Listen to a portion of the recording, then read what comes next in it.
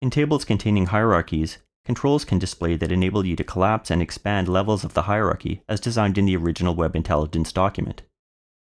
Any levels expanded at the time the Web Intelligence document was saved appear expanded by default in SAP BusinessObjects Mobile. In this table, the country column contains a hierarchy. At the top level of the hierarchy is World. Here you can see the total sales for each product type.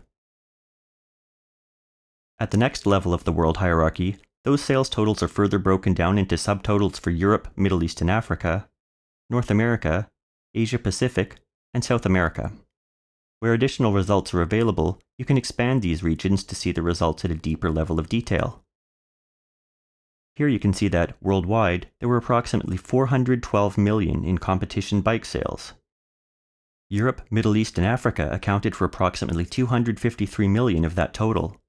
Europe accounted for approximately 240 million of those sales, and the vast majority of the sales were in Western Europe. You can also see hierarchical relationships in charts.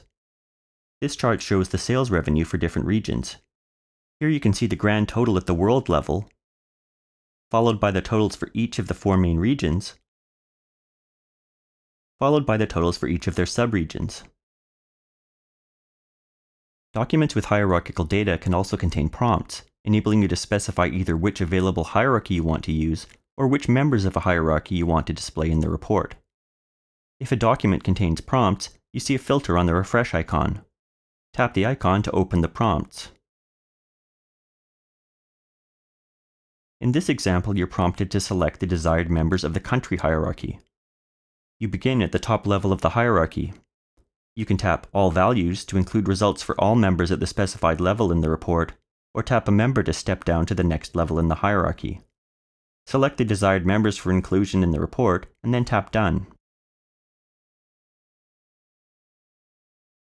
The data is refreshed to return the specified results. You now know how to work with hierarchical data in SAP BusinessObjects Mobile.